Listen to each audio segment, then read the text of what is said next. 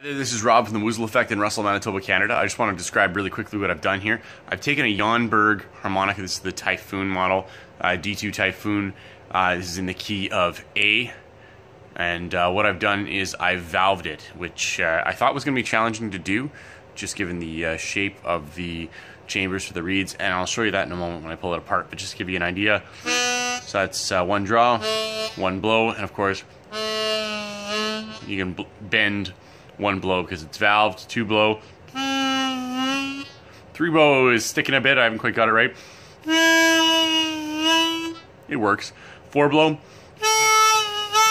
Five blow. That one works well. And six blow. That bound a little bit there. Yeah, so that works uh, quite well actually. Okay, so I've uh, opened up the uh, the cover plates in the Yonberg, popped out the three screws, and just comes out. It's pretty easy to do. Um, the valving I've done today is uh, what my usual system. So it's using uh, strips of rubber that I cut from uh, bicycle inner tube. So uh, this is from my bike. you can tell it's pretty mangled. It's been been through the wars. So you blow a tube, and you can reuse it for the material. Works quite well. I've valved a lot of other harps with this.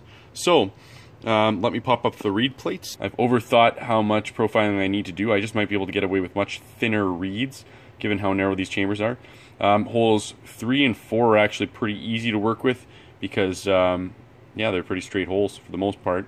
Uh, and then 5 and 6, again, is where it's going to get dicey. So when I do eventually retune and go over to 7, 8, 9, 10, 7 and 8 should be a piece of cake. 9 and 10 are going to take a little work. So uh, let me pause there and I'll pop out the other reed plate and show you yet some more.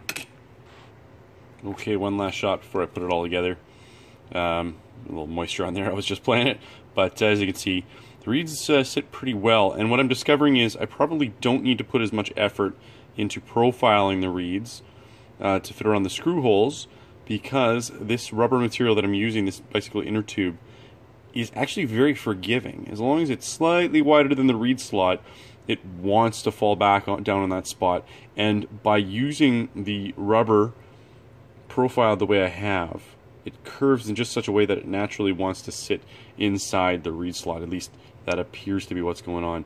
Sorry for the focus. This is just a quick video just to show you the progress so far. I'm going to put together a better video in the next little while.